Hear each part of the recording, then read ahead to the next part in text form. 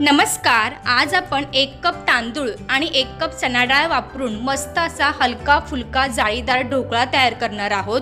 ढोकळा पहा अगदी मार्केटसारखा soft spongy आणि जाळीदार तयार झालेला आहे. ढोकळ्याला रंग अगदी सुरेख आलेला आहे. वेळ न घालवता आपल्या आजच्या रेसिपीला सुरुवात करूयात. रेसिपी आवडली तर चॅनलला नक्की सबस्क्राईब करा आणि नवीन रेसिपीच्या अपडेटसाठी बेल आयकॉन देखील प्रेस करा. मी या ठिकाणी एक मिक्सिंग बाऊल घेतलेला आहे. बाऊलमध्ये एक वाटी तांदूळ घालून घेऊयात. हा ढोकळा बनवण्यासाठी तुम्ही कोणताही तांदूळ वापरू शकता. मी या ठिकाणी रेशनचा जाडा तांदूळ वापरलेला आहे.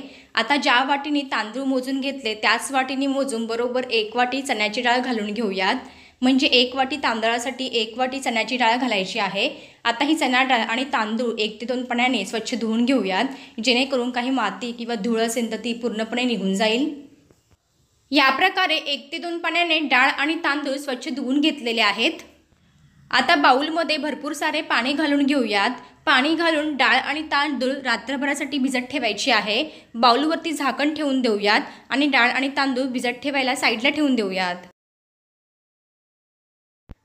आज सकाळीच मी ढोकळा बनवायला सुरुवात केलेली आहे. डाळ आणि तांदूळ रात्रभरासाठी भिजत ठेवलेली होती. हे पहा डाळ आणि तांदूळ दोन्हीही छान भिजलेले आहे. परफेक्ट?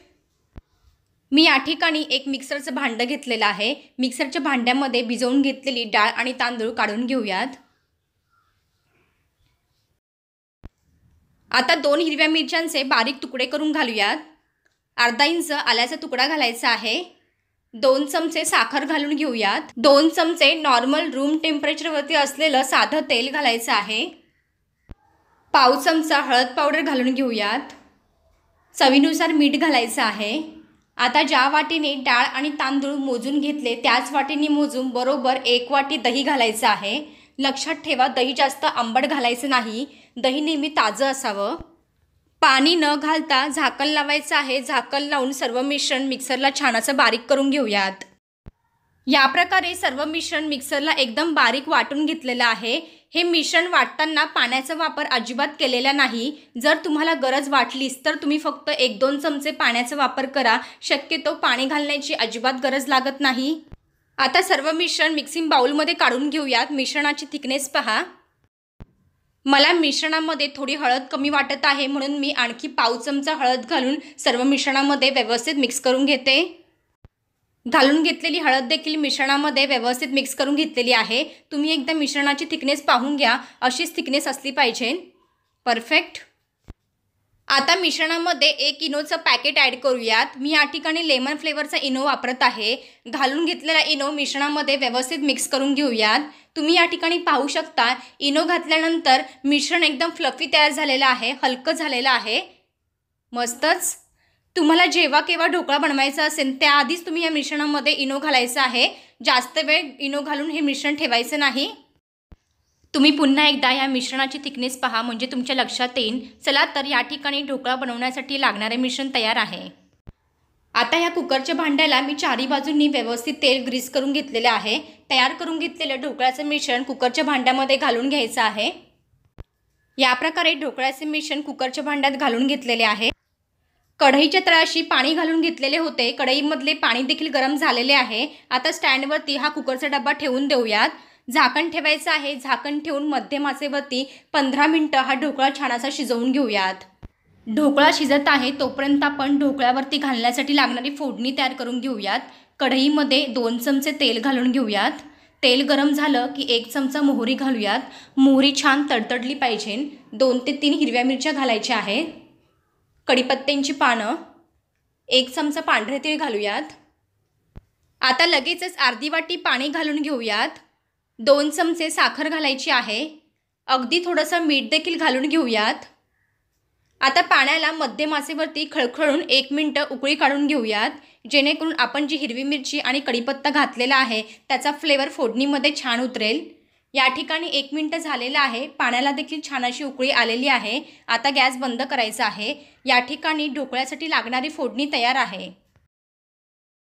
या ठिकाणी ढोकळा तयार झालेला आहे. पंधरा मिनटासाठी मध्यम आचेवरती शिजवून घेतलेला होता.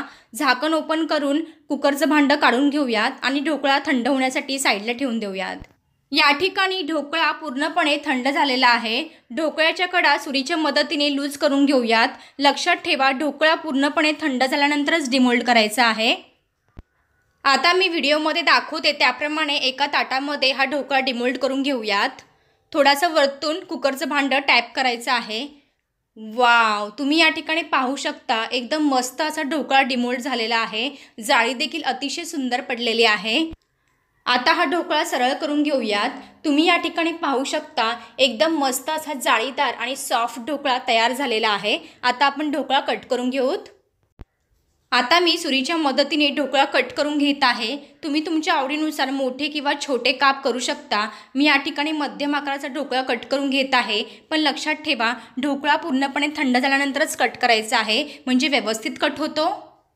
ढोकळ्याचे आडवे काप देखील करून घेऊया. तुम्ही या ठिकाणी पाहू शकता ढोकळा एकदम मस्त जाळीदार आणि सॉफ्ट तयार झालेला आहे. आता आपण तयार करून घेतलेली फोडणी ढोकळ्यावरती घालून घेऊयात.